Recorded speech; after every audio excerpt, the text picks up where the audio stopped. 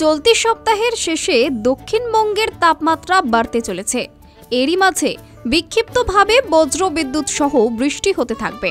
বঙ্গোপসাগরের বিপরীত ঘূর্ণবর্ত অবস্থান করায় বঙ্গোপসাগর থেকে প্রচুর পরিমাণে জলীয় বাষ্পপূর্ণ বাতাস রাজ্যে ঢুকে পড়ায় বাংলায় বৃষ্টি হতে পারে।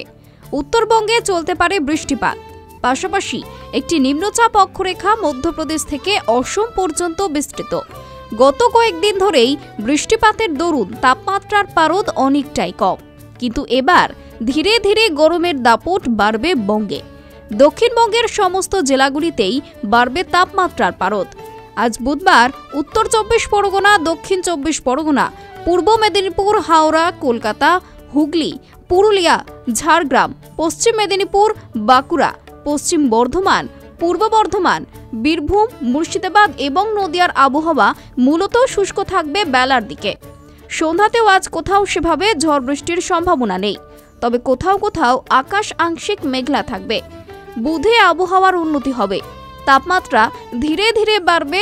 বুধবার শহরের সর্বোচ্চ তাপমাত্রা বত্রিশ দশমিক সাত ডিগ্রি সেলসিয়াস, যা স্বাভাবিকের চেয়ে দুই ডিগ্রি কম এবং সর্বনিম্ন তাপমাত্রা বাইশ দশমিক সাত ডিগ্রি সেলসিয়াস। যা স্বাভাবিকের থেকে এক ডিগ্রি কম। এদিন বাতাসে জলীয় বাষ্পের পরিমাণ সর্বাধিক নব্বই শতাংশ এবং সর্বনিম্ন তিপ্পান্ন শতাংশ। বুধবার শহরের সর্বনিম্ন তাপমাত্রা পঁচিশ দশমিক আট ডিগ্রি সেলসিয়াস, যা স্বাভাবিকের থেকে এক ডিগ্রি বেশি। এদিন বাতাসে জলীয় বাষ্পের পরিমাণ সর্বাধিক বিরানব্বই শতাংশ এবং সর্বনিম্ন তিপ্পান্ন শতাংশ। আগামী দু তিন দিনে দক্ষিণবঙ্গের সর্বোচ্চ তাপমাত্রা দুই থেকে চার ডিগ্রি সেলসিয়াস বাড়তে পারে। চলতি সপ্তাহে রাজ্যের বিভিন্ন জেলার তাপমাত্রা ছত্রিশ ডিগ্রি থেকে চল্লিশ ডিগ্রি সেলসিয়াস হতে পারে। উল্লেখ্য, মার্চ মাসে গরম বাড়বে দেশ জুড়ে। ছত্রিশ ডিগ্রি থেকে চল্লিশ ডিগ্রি সেলসিয়াসের মধ্যে তাপমাত্রা থাকতে পারে দেশের বেশ কিছু এলাকায়। দক্ষিণ ভারত ও পশ্চিমের কিছু রাজ্যে অস্বস্তিকর আবহাওয়া থাকতে পারে। বজ্রবিদ্যুৎ সহ হালকা থেকে মাঝারি বৃষ্টির সম্ভাবনা রয়েছে উত্তরবঙ্গের একাধিক জেলায়। দার্জিলিং, কালিম্পং, আলিপুরদুয়ার কোচবিহার ও জলপাইগুড়ি জেলা রয়েছে বৃষ্টির সম্ভাবনা।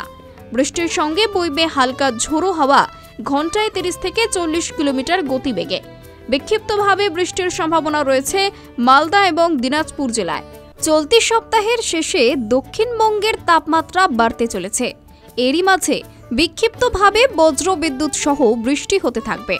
বঙ্গোপসাগরের বিপরীত ঘূর্ণবর্ত অবস্থান করায় বঙ্গোপসাগর থেকে প্রচুর পরিমাণে জলীয় বাষ্পপূর্ণ বাতাস রাজ্যে ঢুকে পড়ায় বাংলায় বৃষ্টি হতে পারে। উত্তরবঙ্গে চলতে পারে বৃষ্টিপাত। পাশাপাশি একটি নিম্নচাপ অক্ষরেখা মধ্যপ্রদেশ থেকে অসম পর্যন্ত বিস্তৃত। গত কয়েকদিন ধরেই বৃষ্টিপাতের দরুন তাপমাত্রার পারদ অনেকটাই কম। কিন্তু এবার ধীরে ধীরে গরমের দাপট বাড়বে বঙ্গে।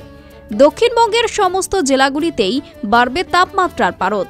আজ বুধবার উত্তর চব্বিশ পরগনা, দক্ষিণ চব্বিশ পরগনা, পূর্ব মেদিনীপুর, হাওড়া, কলকাতা, হুগলি, পুরুলিয়া, ঝাড়গ্রাম, পশ্চিম মেদিনীপুর, বাঁকুড়া, পশ্চিম বর্ধমান, পূর্ব বর্ধমান, বীরভূম, মুর্শিদাবাদ এবং নদিয়ার আবহাওয়া মূলত শুষ্ক থাকবে বেলার দিকে।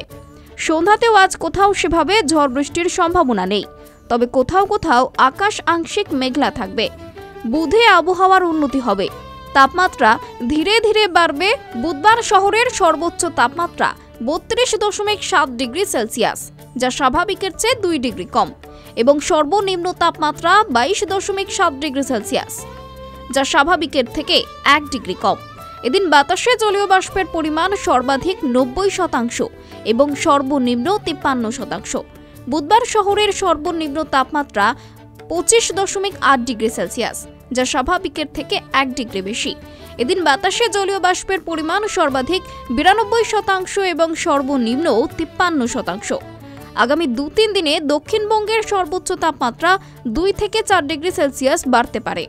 চলতি সপ্তাহে রাজ্যের বিভিন্ন জেলার তাপমাত্রা ছত্রিশ ডিগ্রি থেকে চল্লিশ ডিগ্রি সেলসিয়াস হতে পারে। উল্লেখ্য, মার্চ মাসে গরম বাড়বে দেশ জুড়ে।